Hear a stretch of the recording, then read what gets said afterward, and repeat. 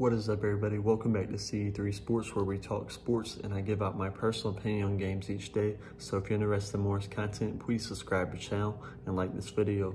Also, if you're interested in my YouTube premium membership right here on the channel, that gets you my personal sports analysis, the games I'm taking myself each day. So if you're interested in that, just go to the link in the description, or you can press the join button right beside the subscribe button on my channel homepage if you're on a computer and you can get set up. But let's get this NFL Thursday night football matchup between the Pittsburgh Steelers and the Minnesota Vikings.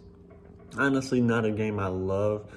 Both these teams have just been really inconsistent this year. Six and six, five and one for the Steelers. The Vikings five and seven in the last five games. The Vikings are two and three and have two, two losses back to back to the winless Detroit Lions and the 49ers.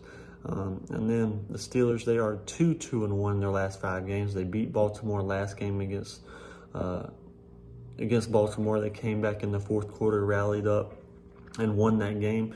Then they lost to Cincinnati, lost to the Chargers, and then tied with that same Detroit team, and then they beat the Bears. So, you know, both these teams have just really had their ups and downs this year.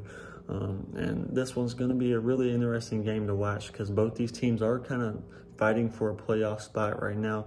Uh, especially the Steelers are only one spot behind right now in the AFC playoff standings. And the Vikings, they're not far behind either, only two spots. So this is a big game for both teams.